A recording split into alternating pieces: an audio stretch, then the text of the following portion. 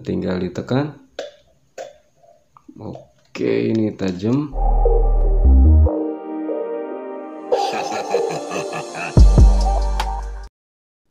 Halo semua, balik lagi di channel review Triple dan di video kali ini gue bakalan bongkar dan review sebuah paket yang isinya alat multifungsi yang memiliki 10 fungsi sekaligus.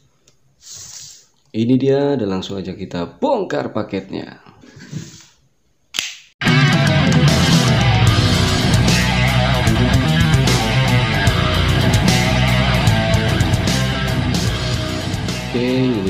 Dia alatnya dan langsung aja kita buka. Ini dia multi tool card 10 in 1 jadi dalam satu alat memiliki 10 fungsi sekaligus. Oke untuk materialnya ini full metal ya. Dan bentuknya juga keren unik ini mungkin seukuran dengan kartu SIM ataupun KTP ya dan nice. apa aja 10 fungsinya langsung kita hitung satu persatu sekaligus juga kita coba apakah berfungsi dengan baik atau tidak A few inches later. Oke mulai dari yang pertama adalah plat screwdriver atau obeng plat ya. Di sini ada di ujung atasnya sini. Oke ini bentuknya sih presisi kayaknya kita coba. Oke di sini ini baut plus sih tapi kayaknya bisa. Kita coba. Oke ini bisa dan berfungsi dengan baik kencangkan lagi Oke, nomor satu bisa dan untuk fungsi keduanya eh, di sini ya di lubang kotak ini ini adalah pembuka tutup botol. Oke, kita coba.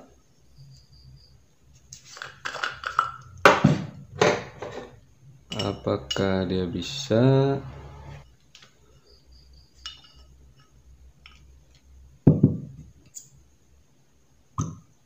Oke, ini berfungsi dengan baik ya.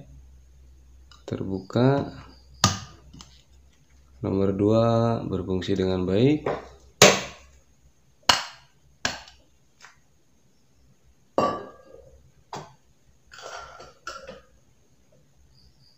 Oke, sekarang kita lanjut ke nomor 3. Di baris tengah sini ada lubang juga. Ini ada 1 2 3 4 kunci ring.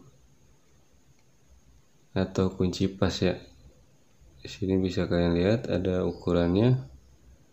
Besar kecil kecil kecil oke dan di sini juga gue udah siapin ada empat mur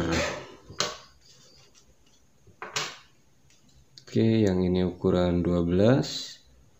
Kemudian 10. Kemudian 8. Dan yang terakhir ini ukuran 7. Apakah bisa muat di sini? Kita cobain. Untuk yang ukuran 12 ini nggak bisa. Ukuran 10 ya ini pas. Dan ternyata untuk kunci pasnya ini mulai dari ukuran terbesarnya adalah 10 kemudian di sini ada mur 8 oke yang kedua juga pas ini untuk mur 8 selanjutnya mur 7 oke ini ada damage nya kita ganti dulu. Oke dan ini mur 7 juga pas ya. Berarti kemungkinan yang keempat ini mur 6 ya kurang lebih karena kurang lebih ini umur 6 atau umur 5 dan untuk kunci pasnya atau kunci ringnya ini berfungsi dengan baik. Lanjut ke fungsi yang keempat. Um, kita yang mana dulu ya? Hmm, yang keempat ini ada kunci kupu-kupu. Kemudian yang kelima juga sama sebenarnya ini fungsinya sama. Tapi yang keempat ini lebih apa ya lebih pendek lebih kecil. Tapi intinya fungsinya sama yaitu kunci kupu-kupu. Dan uh, bautnya seperti ini sebentar. A few moments later. Dan bautnya atau klemnya sebenarnya seperti ini dan ini adalah klem kupu-kupu atau butterfly range gitulah bahasa Inggrisnya kurang lebih. Dan yang punya gue ini kebetulan memang sudah ada handle-nya. Jadi ini sebenarnya nggak perlu kunci cuman biasanya ada yang hanya plat aja kecil gitu. Dan fungsi uh, kunci kupu-kupu ini buat muterin si ini nih. Nah seperti ini kurang lebih. Cuma ini karena besar jadi nggak muat. Kurang lebih seperti ini. Biasanya uh, klaim antena itu. Klaim antena biasanya hanya plat kecil aja dan kalau diputar tangan itu susah. Jadi pakai ini pasti bisa jadi untuk fungsi keempat dan kelima ini sama jadi ya kalau menurut gua sih gue hitung satu aja jadi ya. Ini satu dua tiga empat gitu ya. Oke fungsi yang kelima kita coba pisaunya oke fungsi yang kelima kita coba pisaunya. Ini kita singkirkan dulu. Di sini gua ada kayu kayu sisa ya. Kita coba. Oke untuk pisaunya ini enggak terlalu tajam ya. Mungkin karena uh, peraturan pengiriman atau peraturan ekspedisi yang gak boleh ngirim senjata tajam.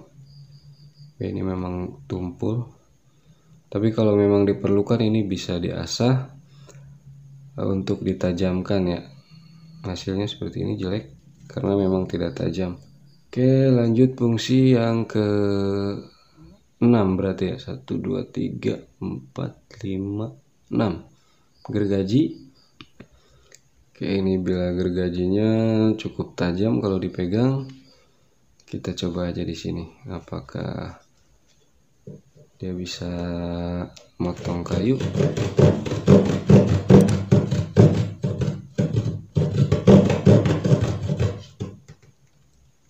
Oke. Untuk gergajinya ini tajam banget. Bisa dilihat cuman beberapa kali apa namanya gosokan atau tarikan dia udah cukup dalam.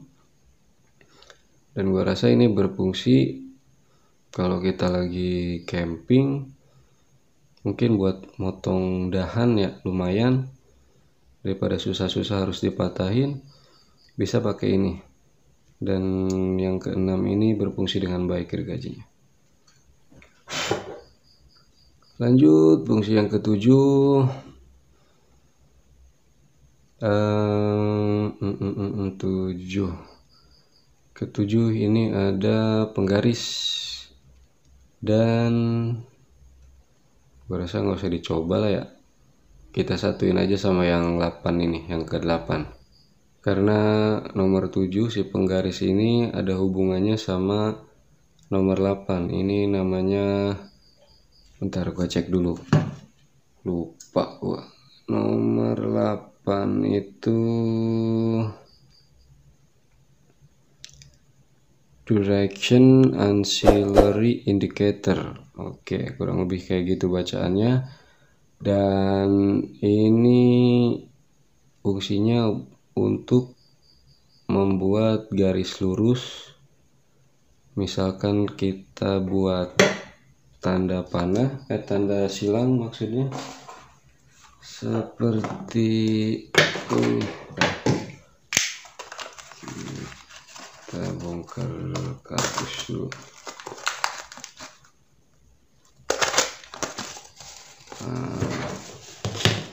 Oke untuk fungsi ketujuh penggaris dan fungsi kedelapan yang si lubang ini ada hubungannya. Jadi fungsinya buat bikin garis kelihatan ya.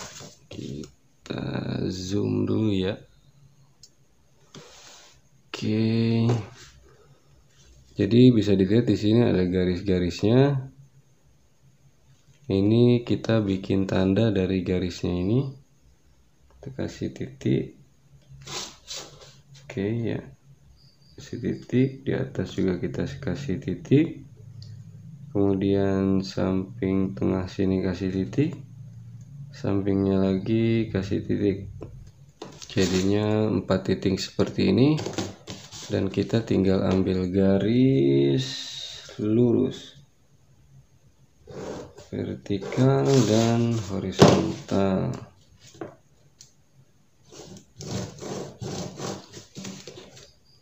Kurang lebih seperti ini dan ini hasilnya lurus. Oke? Okay? kurang lebih fungsinya seperti itu. Jadi ini uh, untuk uh, penanda aja untuk membuat garis lurus tanda silang ataupun tanda plus ya oke dan fungsi ketujuh dan kedelapan berfungsi dengan baik.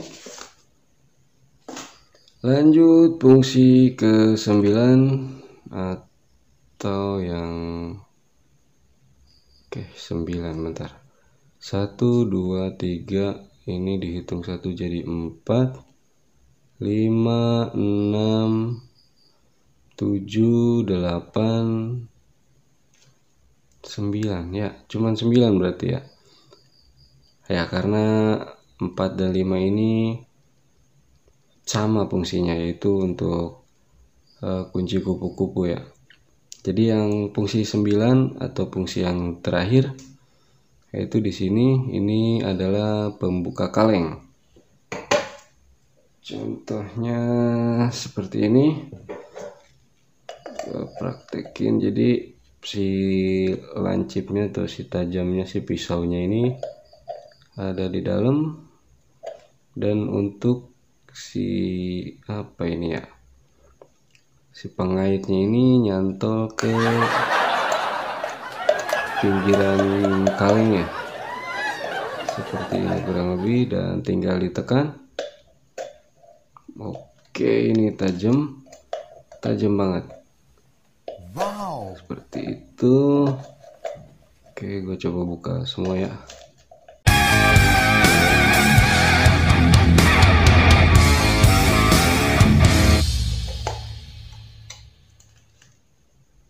Dan berhasil kebuka dengan rapi.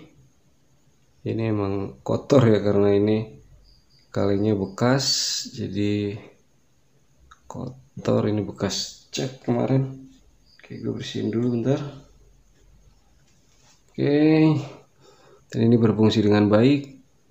Ini tajam banget untuk si pembuka kalengnya ini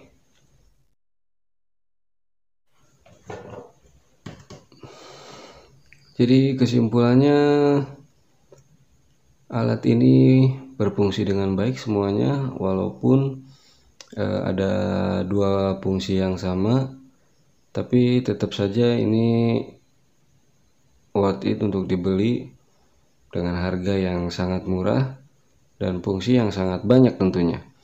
Gua beli ini uh, sekitar 6500 dan untuk camping gue rasa ini bakalan kepake banget. Buat kalian yang pengen punya alat ini tinggal cari aja di aplikasi belanja online kesayangan kalian dengan kata kunci multi tool card 10 in 1 atau 10 dalam satu. Kurang lebih seperti itu. Dan pasti muncul dengan beragam harga yang ditawarkan. Sekian video kali ini, terima kasih udah nonton sampai habis. Jangan lupa like, share, subscribe, dan nyalakan notifikasinya biar nggak ketinggalan video review berikutnya. Sampai jumpa.